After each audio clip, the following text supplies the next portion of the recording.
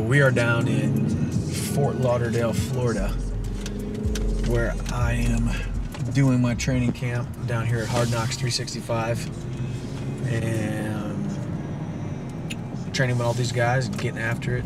Once again, putting my calling over my comfort, away from the family, down here by myself in some some stranger's house, some stranger's bed, living the lonely life. But it's all worth it on fight night when you get your hand raised and you know all the hard work and sacrifice that you put in was realized and it turned into a victory.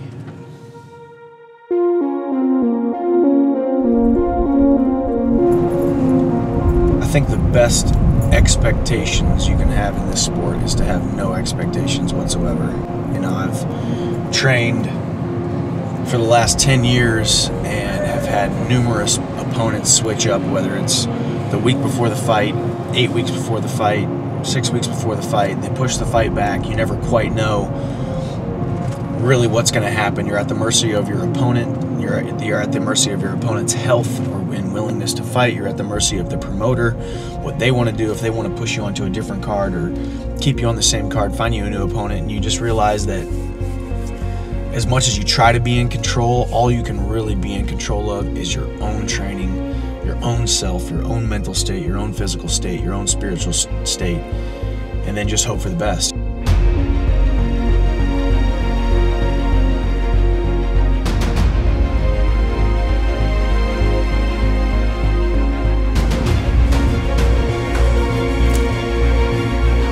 Three and a half, four weeks before the fight, we get a phone call saying uh, my opponent is hurt.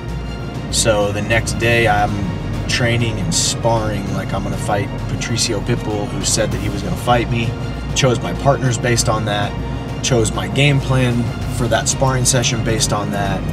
Um, was in that mental state that I was going to fight Patricio Pitbull. Then, six hours later, after sparring, I'm home and I'm hanging out.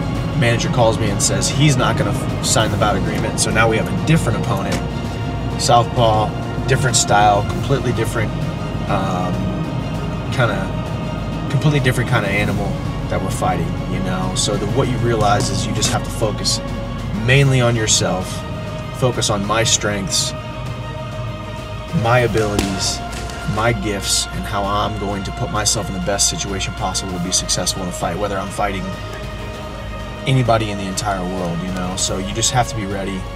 You have to be prepared, um, and really just focus on yourself and how you can, what's going to put you in the best possible scenario and the easiest path to victory, no matter who you fight in the entire world. Because you can have a, an opponent switch up literally the day before the fight, and there's nothing you can do about it. You have to step into the cage, bite down on your mouthpiece, and fight.